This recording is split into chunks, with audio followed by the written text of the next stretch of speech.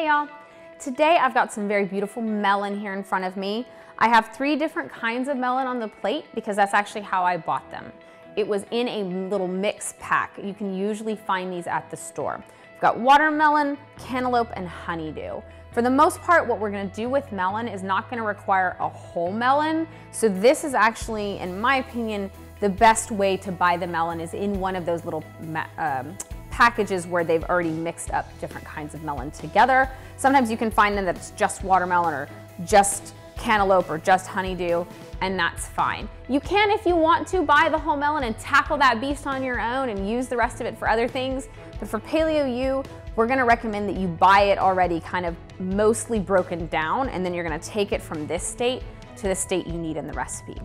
The recipe might call for it to be like this, but more often than not, we're gonna want it to be in slightly smaller pieces. So really all it is is just taking the, this already pre-broken down or cut watermelon and cutting it, or melon period, and cutting it a little bit more. So I've cut those pieces, cut that. So if I wanna do like small bite-sized pieces, have a water, a melon salad that requires pieces about that size, so that works pretty well. Show you the same thing with the honeydew. So you can see I'm kind of doing slices first. I'm gonna stack those on top of each other and do one cut down the middle and then cut like this.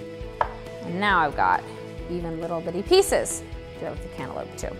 So that's pretty simple for our melon.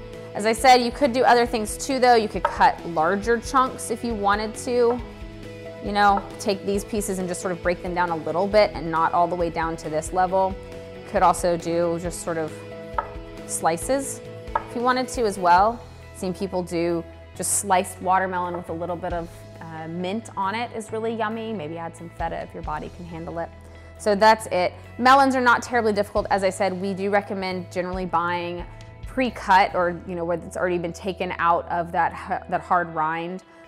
Uh, if you, again, if you want to, you can tackle it at home. This is usually how we buy it because the amount you're gonna need for Paleo U is just not gonna usually warrant buying an entire melon.